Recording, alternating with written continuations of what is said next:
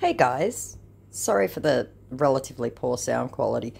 Um, so I made one comment on one Gerard Butler post and I have been inundated. So first of all was management representative, right, for Gerard Butler and he actually rang me. So, hello, this is the media representative of Gerard Butler management team. I was asked to come in here to let you know to always block and delete any fake profile claiming to be him. I hope to get a respond from you on time. I said, Hi, what about fake management teams with poor English? Should I block them as well, you think? And this scammer actually understood sarcasm. You're mean, he said. My response was, Aw. And then obviously audio call started, which you'll see in the previous video. The audio quality was not great. Um, and then he sent a photo, which I can't access anymore, of Gerard Butler, as if that's going to convince me. But wait, that's not all. So meet fan page, the real Gerard Butler chats.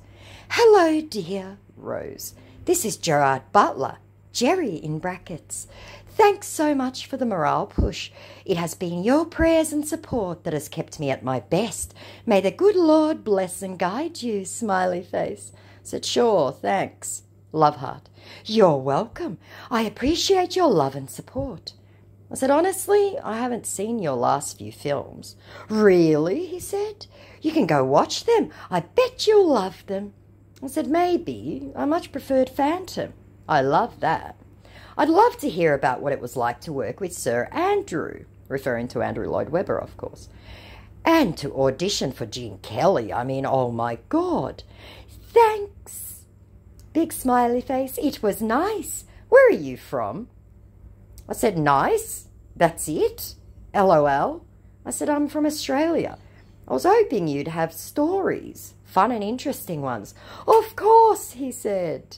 I said, well, you went away. And obviously, I reported it. I don't think he'll come back. But wait, there's more. Meet Jerry. Instagram of Gerard Butler. Hello, gorgeous. How are you? My name's uh, Gerard James Butler. I'm a Scottish actor and producer. You were suggested to me here on my private page while I was replying to a chat from a family member, as this is my private page where I only relate with a few friends and family members. I must confess that you really look beautiful. What's your beauty secret? I would be delighted to get a response from you soon. Yours sincerely, Jerry. So how could I resist? I said, Hi there. I just got a scam warning from Instagram when I went to accept this request. Don't they know who's uh, uh, don't they know this is your account? Question mark, question mark. Are you less busy, he said, so I can call you on video chat for you to see me? Now I was kicking myself because I was actually at work. There was no way for me to record anything.